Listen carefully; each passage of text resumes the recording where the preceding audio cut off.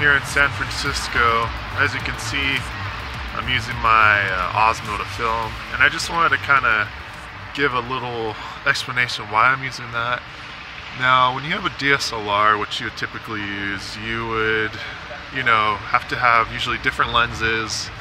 Obviously, you have different primes, um, and since I'm shooting out in daylight, I would obviously need some uh, ND filters. So it just becomes really cumbersome and a lot of stuff to carry. So that's the reason why I'm not using that, and that's why the reason I'm using the Osmo over here.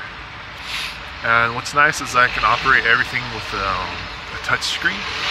So from actually this distance, I can operate the camera. So I don't have to be right next to it. So that's a huge advantage in itself because when you're filming, sometimes the space is really cramped or tight, or you don't have, uh, you know, accessibility to the camera. But with this, I can just uh, through Wi-Fi control the camera, so that makes it nice. Also, I can do time-lapse features super quick.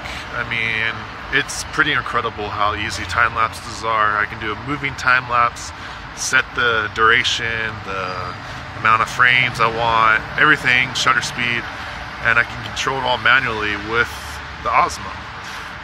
And with that, I can also record video. So I can do 4K video, and so it's just one of the benefits of having um, a platform where you can not only do uh, video, you can do photos, I can do panoramas with it, I can do uh, 360 panoramas. I mean, the limitations kind of don't end. The only thing you're limited to is a smaller sensor but actually, when I'm shooting out in areas like this, I kind of want to keep it uh, pretty, uh, you know, large depth of field, so it actually works to my benefit.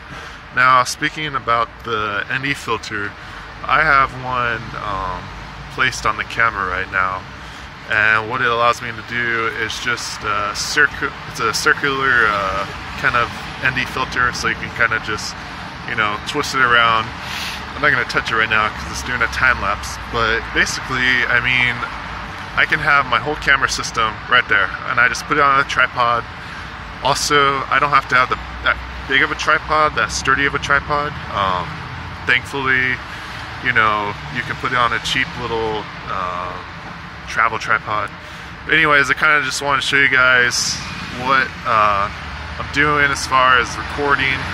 I'll try to put some of the videos in the end of this video so you can see what it looks like.